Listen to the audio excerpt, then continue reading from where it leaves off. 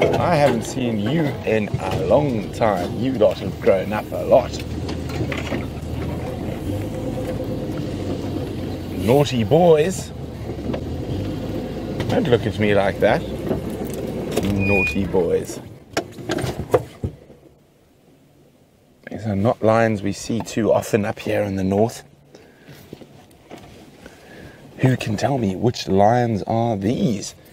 If you know the answer, hashtag Safari Live on Twitter or questions at wildearth.tv. Who are these young upstarts?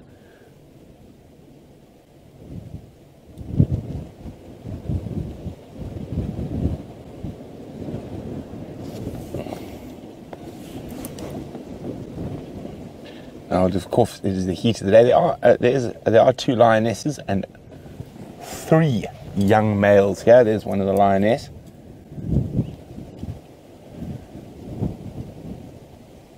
And they're looking very hot and heavy. It is, of course, the hottest day of the season so far.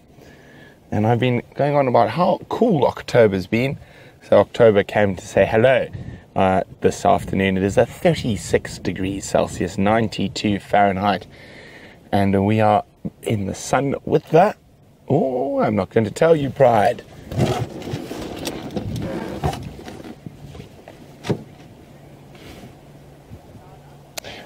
Well done, Liz. It is indeed the Tsalala Pride. Oh, forgot my sunglasses on. Naughty Brent.